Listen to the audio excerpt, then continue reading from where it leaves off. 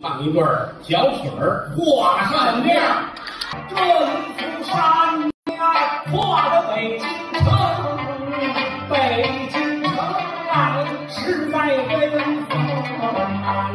历久万顷皇城寺，九门八面一口钟，三宫人员画朝廷，文武官员列百姓。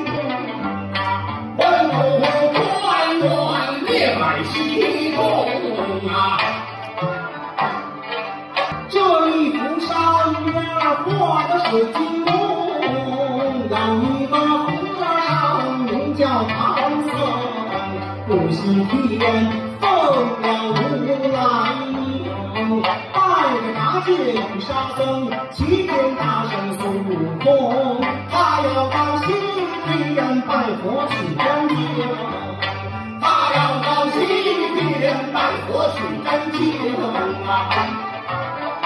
郭老师又带着徒弟们唱华扇面了，只不过这次两位徒弟的表现算是给自己挣足了脸面。作为德云社跨不过去的小曲儿，十二年前的华扇面算是彻底伤到郭老师，尘封十几年都没再唱过。郭老师也是没想到，到了自家综艺的舞台上，这首华扇面还能成为魔咒。这一副扇面儿，中国动刀兵啊，刘玄德其心也够奔放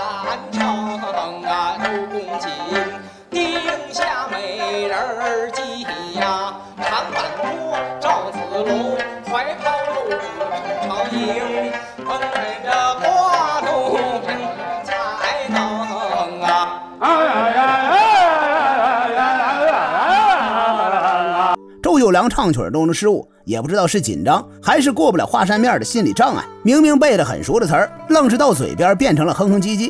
不过既然是说到华山面了，那怎么可能不提一下我们小陶阳力挽狂澜的经典场面呢？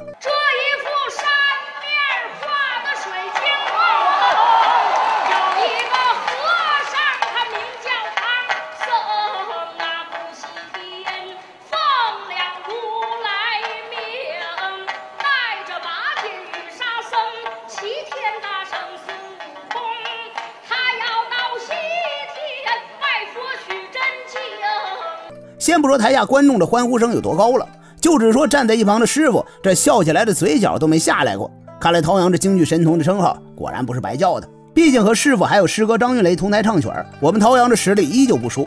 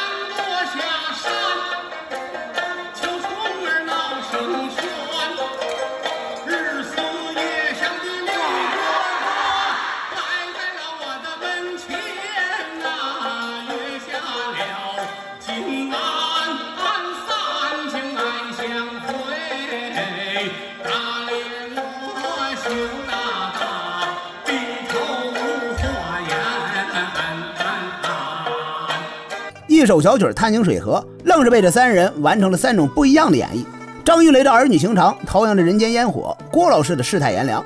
不仅是唱小曲好听，陶阳自己打板唱起主板舒适，那才叫一个惊艳全场。莺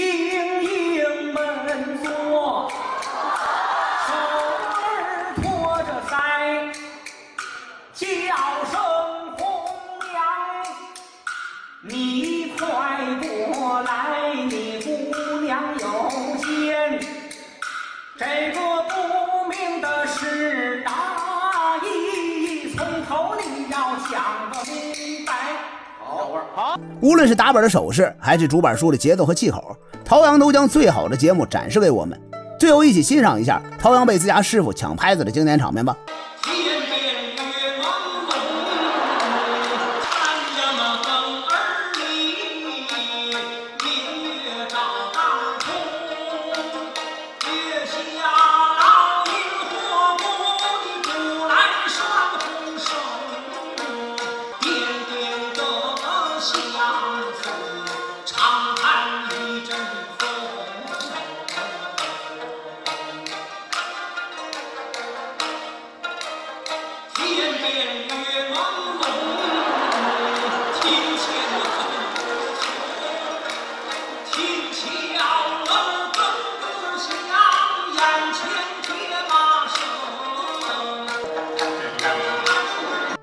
要不是张云雷拦着，郭老师这唱词儿，怕是都要脱口而出了吧？虽说有个小插曲，但咱不得不说，陶阳在唱功方面那确实是无可挑剔。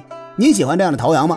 您还知道德云社角儿们有哪些经典的唱曲片段？评论区里告诉我吧。今天又是期待九良来看我视频的一天，喜欢的话点个关注呗。